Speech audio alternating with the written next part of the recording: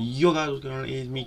Now, in today's video, I'm going to show you on how you can not get bored of playing video games. Now, I always get bored of playing video games, and these ways and tips can help you not get bored of playing video games. So, let's get to it. So, our first tip is like give yourself like a task or a challenge to do. So, for example, when I play Warframe, I'll task myself to do something. For example, I'm like, right, today I want to get make some platinum or I want to farm some credits or farm some Kuva, for example, like that. Now, you could do this for a bunch of different games, uh, depending on what your game is. For example, like Call of Duty, like, like today I want to get to this level, or today I want to get to this level of the battle pass, or today I want to get to, to this gold this gold weapon, something like that. So now that's a really good thing to do because then you're not going to get bored of it because you've tasked yourself to do something. Now I normally do this at the end of the day or at the start of the day, and then I'll do this and then once I've done that task I'll play another game. What is leading up to my next tip is play another game. So you don't have to play the same game over and over and over. You can play different games. Uh, I normally play like CS, Valorant, uh, Division 2 there's a bunch of games that I play. Rainbow Six Siege as well. There's a bunch of other games that I play when I'm bored of some other games. So playing other games is a really good one and then you can easily just come back to it. So that is a really good tip to have is playing another game now the next tip is like just don't play games in general.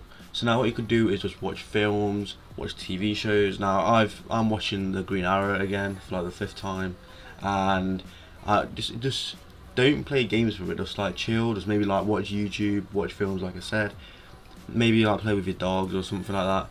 Now it's really good just not playing games. Now I haven't played games like today while I'm recording this I've just basically just been watching films and TV shows and editing my video.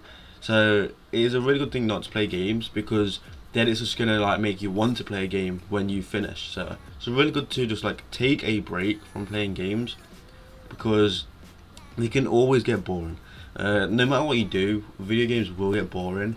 Now these are some ways that can help you but obviously like uh, not playing games, playing other games instead of just playing a single one. Now the reason why I did say that is because I normally do Warframe content and Warframe is kind of getting to a state now where it's getting repetitive so the game gets very boring, I get bored of the game very quickly so be able to just play other games is really good. For example, playing Division 2 or something like that is a really good one to do just because like it's so much to do like and again like I said on the first tip challenging yourself. Challenge yourself to do something because then that's going to give you something to do if that makes sense. So like I said earlier if you challenge yourself to do something like like set a task that you want to do then you're not really gonna get bored of it. Now you you will eventually get bored of doing that. Like if you keep setting your task setting yourself a task for the exact same day uh, not the exact same the exact same game over and over and over it will eventually not work.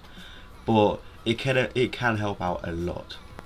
Now that's been it guys. I hope you guys did enjoy this video. If any of these tips and tricks did help you make sure you drop a like and subscribe. It takes literally two seconds of your day and it's free. So uh, yeah see you guys later. Peace out